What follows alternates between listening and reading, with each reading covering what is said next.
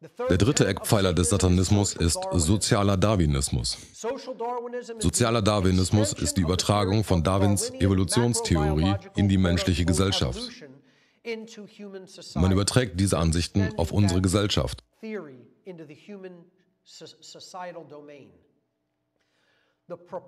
Die Vertreter von Darwins Evolutionstheorie betonen immer wieder, das Überleben des, in Anführungsstrichen, fittesten Tieres, also die dominantesten Tiere werden ihre soziale Gesellschaft beherrschen.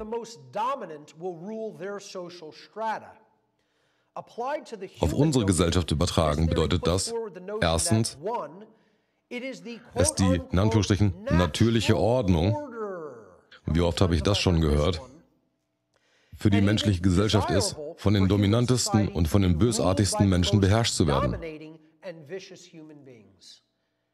Ich kann euch nicht sagen, wie oft mir schon mit einer ernsten Miene erzählt wurde, hey, das ist die natürliche Ordnung.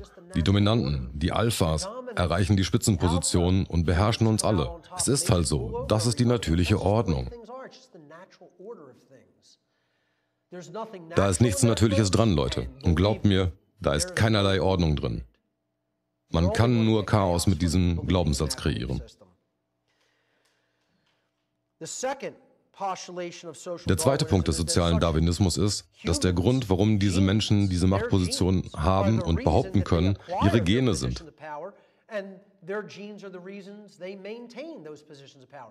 Es hat nichts mit der Situation zu tun, in welche gesellschaftliche Situation sie geboren wurden oder die Menge an Ressourcen, die ihnen bei der Geburt in die Wiege gelegt wurden oder den Blutlinien, aus denen sie stammen, wie zum Beispiel superreiche Banker-Dynastien. Nein, das hat damit überhaupt nichts zu tun.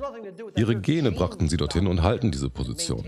Es hat nichts mit dem Glauben an Geld zu tun und dass man bereit ist, alles dafür zu tun für ausreichend Geld, vor den eigenen Versklavern.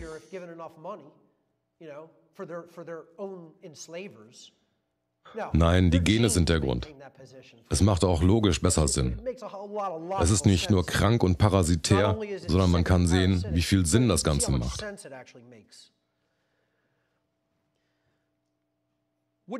Stimmst du zu oder nicht, dass der Großteil der Individuen in unserer Gesellschaft dieser Ideologie beipflichtet?